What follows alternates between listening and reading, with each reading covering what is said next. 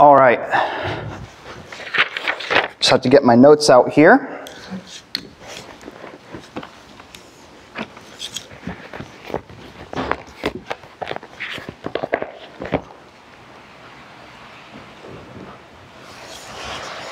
Okay.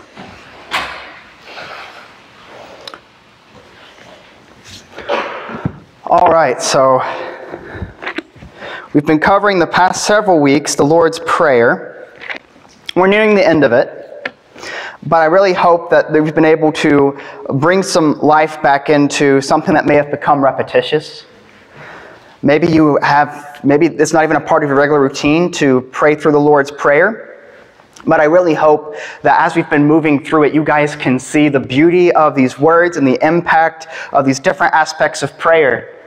You know, the disciples at the time Jesus was praying and he comes out and they're just like, Jesus, you're always gone praying. We didn't even know how to pray. And it's interesting because they had many, many different prayers, but obviously their prayers themselves had been repetitious and they had kind of lost impact to their prayers. So They're like, Jesus, why don't you teach us how you pray? And so we, this prayer here taught them three different things. For one, it taught them how to address God in the first place. And so we know it's not about getting the name right. Instead, he says, Our Father who is in heaven. We identify specifically who it is, but we also realize this personal connection we have with God, thanks to Jesus. Something that he is in the process of setting up for them now, but isn't fully set up at this, at this point in Scripture. He hasn't yet died for their sins.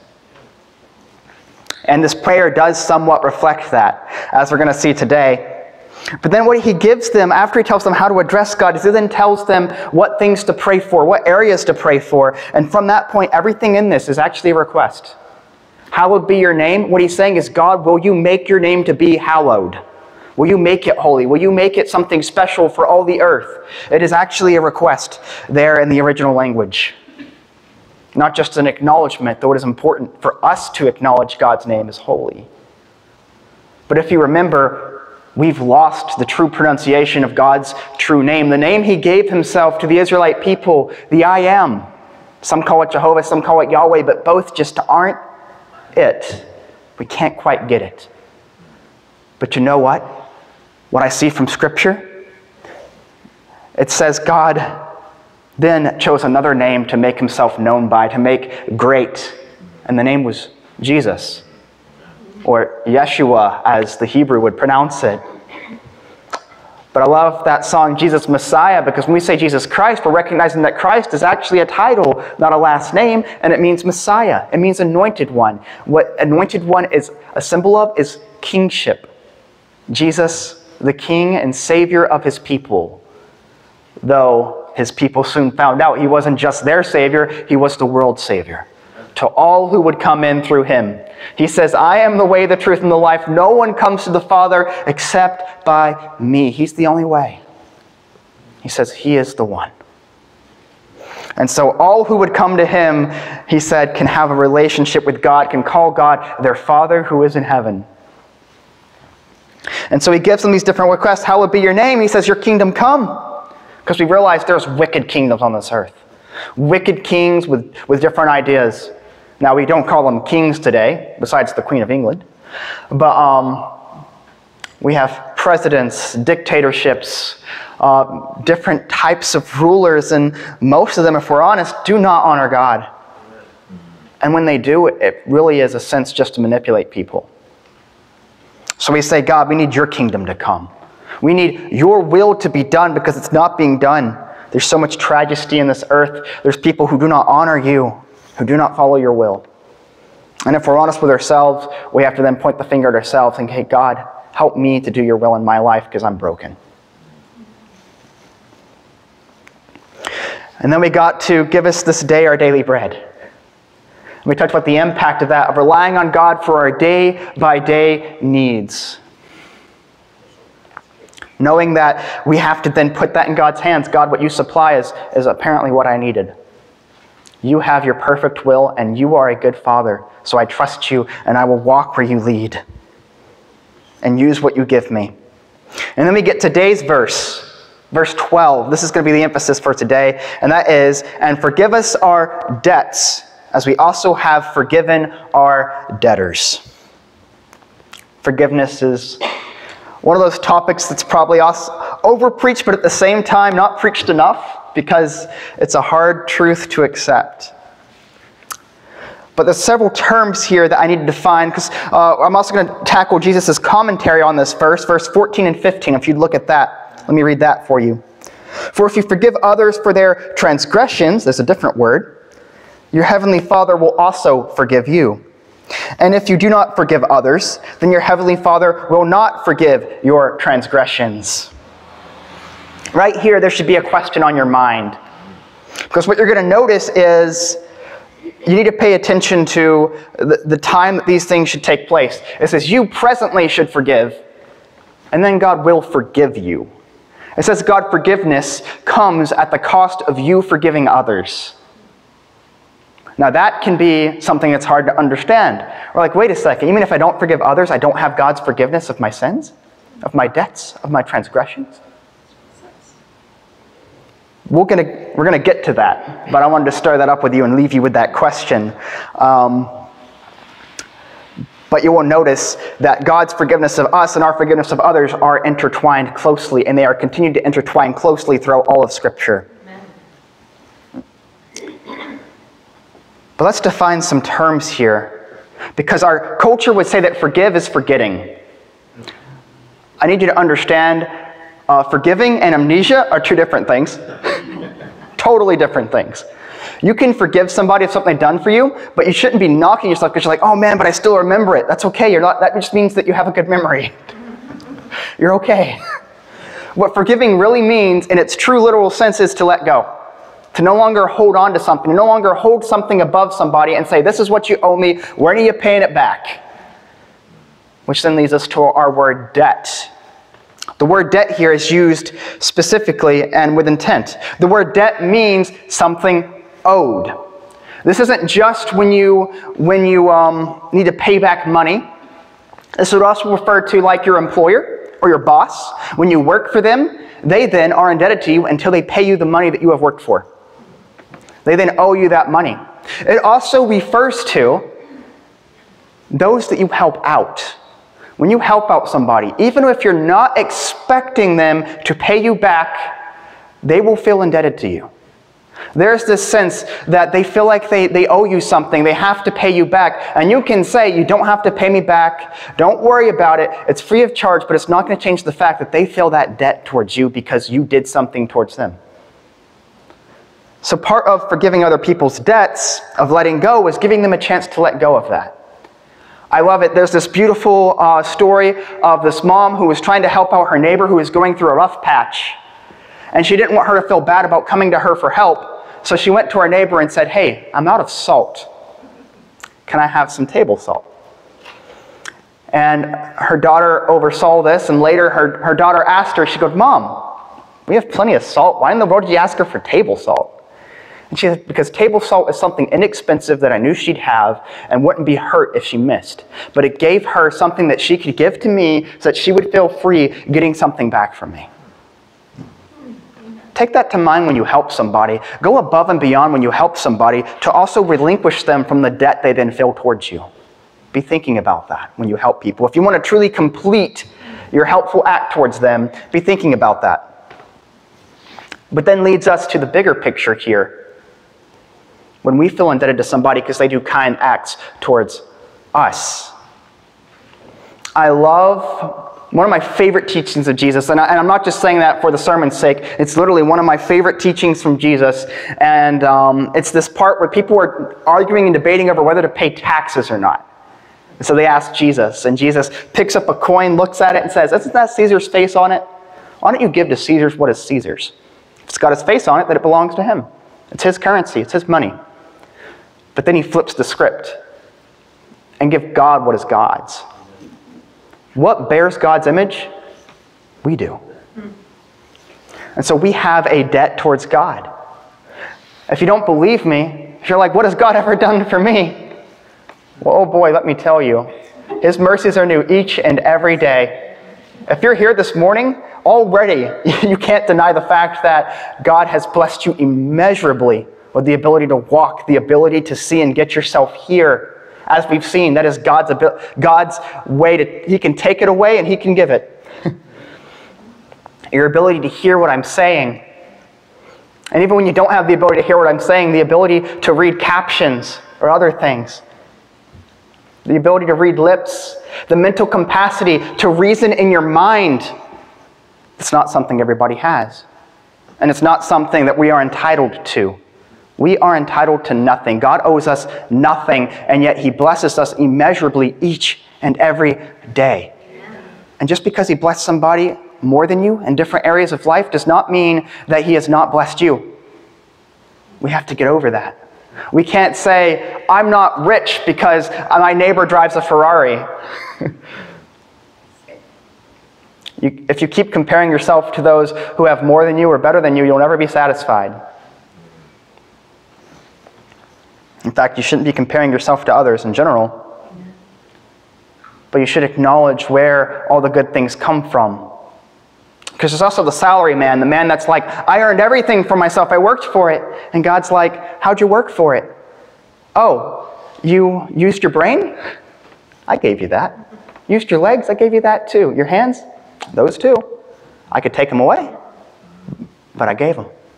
And he does that because he loves us. He gives us those things because he loves us. It says it's meant to lead us into worship of him. But there is this debt then that we cannot pay when we realize that we have so many things that he has done for us that we cannot possibly pay back. Because nothing we do can profit God. He has everything. There's nothing we can give him that would, that would make him, that, that would benefit him, really. Nothing that he couldn't do himself. So it's impossible to pay back God. So there is this debt we cannot pay on that end. But that's a, that's a kind of a, that's kind of a good debt. But then we have the other kind of debt. The debt of when we don't do what we should. When God has the expectation that we acknowledge him as God and that we and that we honor him as God and we don't do it, that's sin. Sin means to miss the mark. Not living up to the expectations of the one we're indebted to. And so James 4:17 it says therefore to one who knows what the right thing to do and does not do it to them it is sin. So now there's a debt of not paying what we owe. And so that's what debt is. It's not paying what you owe. And then there's trespass, transgression. This is on the opposite end. This is when it's not it's not not doing something, it's when you do something you shouldn't do. So we have debt as the sin of omission, not doing what you're supposed to do. And then transgression, trespass, is doing what you're not supposed to do, the sin of commission. When you break God's law, when you use His name incorrectly, when you lie to others. And let me say something controversial here. that wasn't the controversial thing. No. But I want you guys to know that on one end, God knows just how messed up, sinless, I mean, sinful, and helpless we are. He knows that. But at the same time, God actually does believe in you. Amen. He believes that you can do better. He has expectations for you that He does expect you to meet. But He is also aware that you will never fully meet one single one of them. That's what Jesus taught us in Matthew chapter 5. He goes, You may be able to keep the law, do not murder, but you can't keep it fully in truth. You want to keep the true heart of it? If you've ever been angry with a brother, that's the root of murder. He goes, What about with adultery? You ever looked at someone in the opposite sex and longed for them?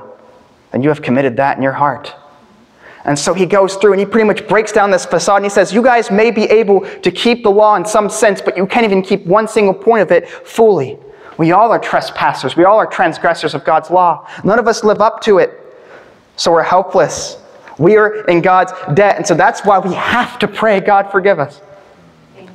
Because I don't know a single way to pay back a single bit of it. Even my best acts of righteousness are but dirty rags to you which, if I were to explain what that truly means, it's incredibly vulgar. Giving God our used rags. But this is God's love. He says, I'll forgive you of your debts, but I need you to forgive others of theirs.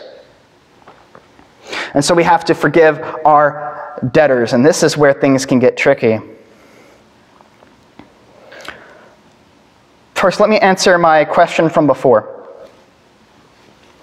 You'll notice here in verse 13, sorry, verse 12, it says, Forgive us our debts, meaning presently forgive us our debts, as we also had forgiven our debtors. So we have God's forgiveness in the present, but we should have already forgiven our debtors. So, God's forgiveness comes after our forgiveness. See verse 14. If you forgive others for their transgressions, your heavenly Father will forgive you. So again, our forgiveness comes before God's forgiveness. Verse 15, but if you do not forgive presently, then your Father will not, will not forgive. That's future. So again, our forgiveness comes before God's forgiveness. Now, why does Jesus put it this way? Because he has not gone to the cross yet. When he's talking to the disciples here, he's saying, Forgive your debtors, because I promise it'll be worth it, because you will be forgiven. He's talking about the cross. How do I know this? How do you know I'm not just making this up when the word says so clearly otherwise? Because after Jesus died on the cross, when his disciples reflect on this teaching, when they repeat it, they repeat it the opposite way. It's awesome, actually. Um, Colossians 3.13, it says, bearing with one another and forgiving each other. That's present, that's ongoing. Whoever has a complaint against anyone, just as the Lord forgave you. So the Lord forgave you in the past, so you should forgive people in the present. It's, it's flipped now, thanks to the gospel. Ephesians 4:32, another time, be kind to one another, tenderhearted, forgiving each other, that's presently ongoing, just as God and Christ has also forgiven you. Now, now it's flipped.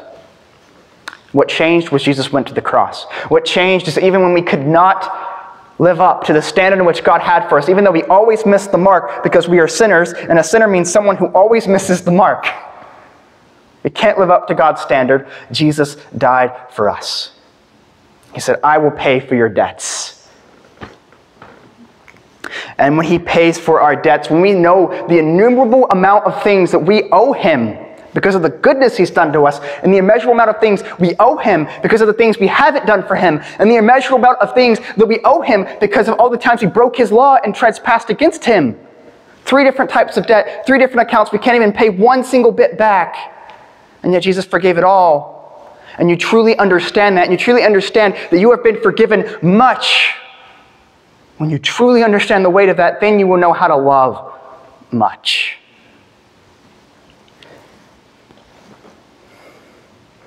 A true account with Jesus. In Luke chapter 7, verse 40, if you turn there with me, because this is powerful.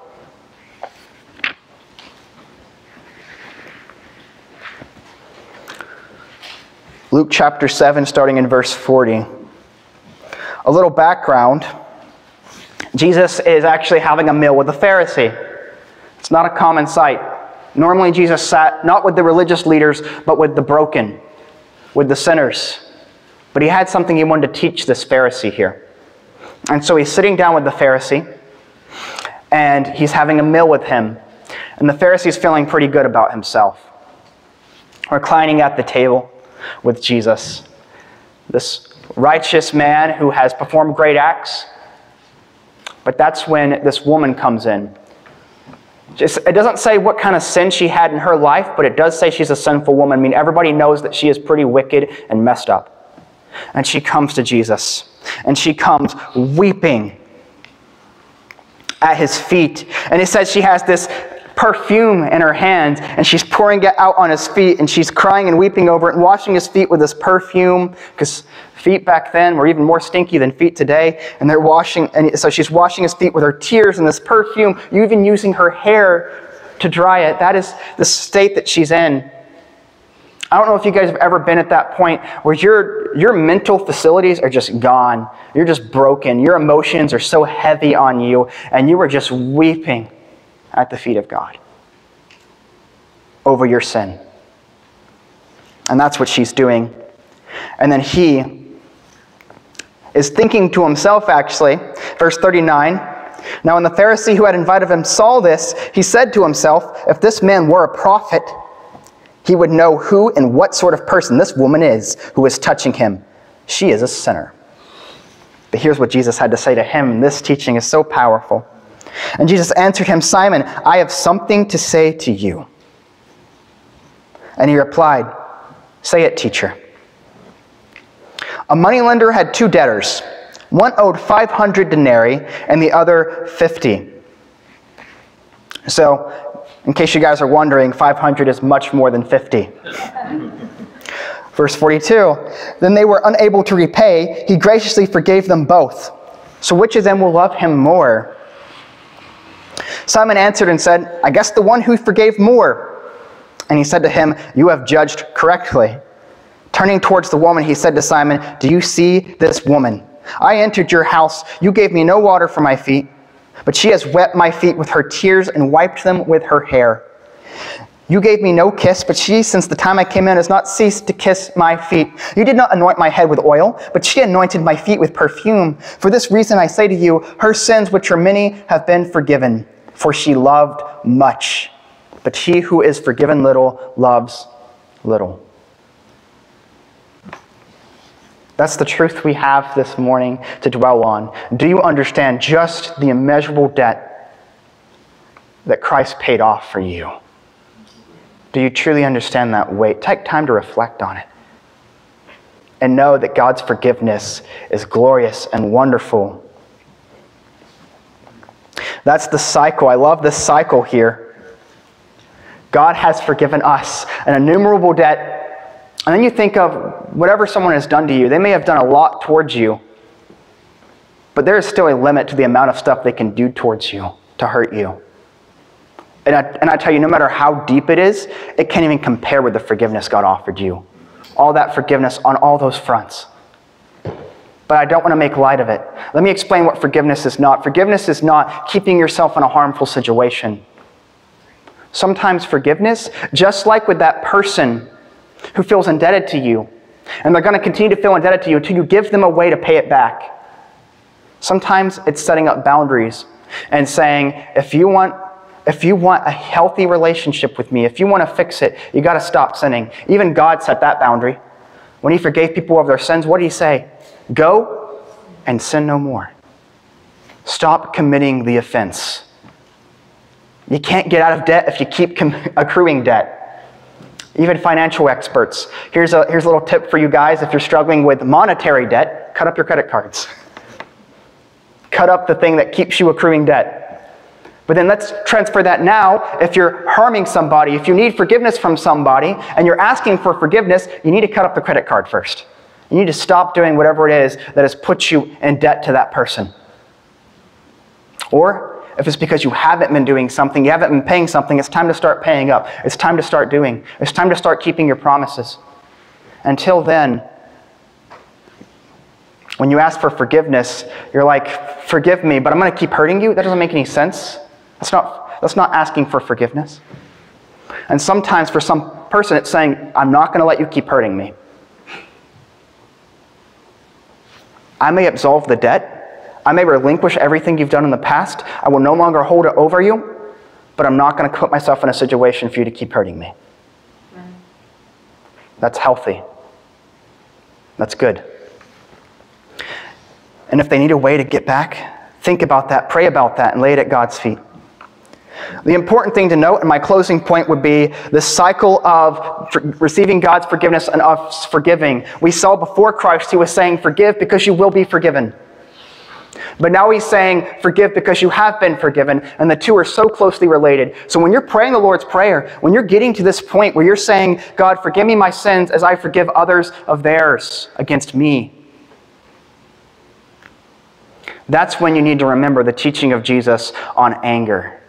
When you're going and you're offering your gift at the altar, which, by the way, that sacrifice they were offering at the altar at that time, that was probably a sin sacrifice or a guilt sacrifice. What God is saying, God will not forgive you of your sins until you make right with your brother. That's what he was saying to them. And now the script may have changed, it may have flipped, but the importance is still there. If you're asking God for forgiveness, you better remember the debts other people owe you and reflect God's goodness. Do what you can to settle debts, to make things right. Be a reflection of Jesus and what he has done for you. You want to bear the name of Christ and live like him. And I know it's hard. It's a hard teaching. So, in the words of Jesus, him who has ears, let him hear. Amen. Can you stomach it? If not, it's time to spend some time in prayer. It's time to meditate on the gospel. It's time to pour out your heart before God. Mm-hmm. All right, let's pray. God, thank you so much for your forgiveness that I know I don't deserve. I'm a broken human being. But God, I also thank you so much that you haven't given up on me. You haven't given up on us. Even when we fail to forgive, you say, Get up. Do better. I believe you can do better because I have died for you. I have given you my Holy Spirit. God, I can't just imagine how your great kindness for me that I do not deserve. Thank you so much for Jesus. Thank you so much for his spelt blood. Thank you so much for this forgiveness that, that is more than I can possibly comprehend. I pray, God, that you would be with those hurting in this room right now, those who have a trouble forgiving somebody, letting go of past wrongs, letting go of future wrongs. God, would you give them the wisdom they need to properly settle accounts? And God, if no one in this, if there's someone in this room that is not right with you, that has not fallen before your feet and asked for forgiveness, they haven't accepted the death, burial, and resurrection of Jesus Christ, God, would you bring them to their knees? Would they, would you show them your great love? And Lord, we pray these things in the name of Jesus. Amen. Amen. All right. Thank you, guys.